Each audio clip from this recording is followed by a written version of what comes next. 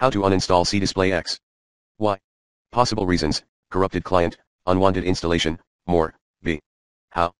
Solution number 1, perform the uninstallation process manually. Step 1, gain admin access. Step 2, get app info like installation folder, exit target app and associated background processes. Step 3, start the standard uninstall routine. Step 4, restart your computer when ready. Step 5, optionally clean related projects, components, or software remains. Follow me, exactly. See solution number 2, try the recommended uninstall tool pro in the description area, if this removal guide fails to work.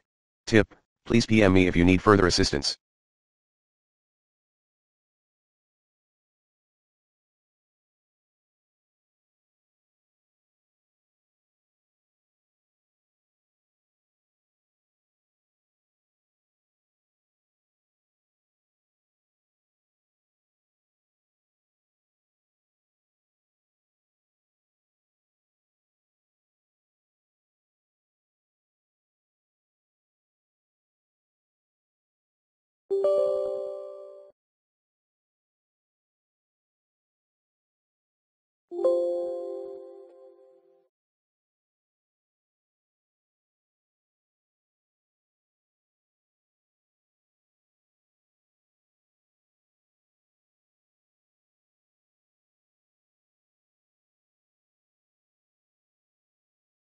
you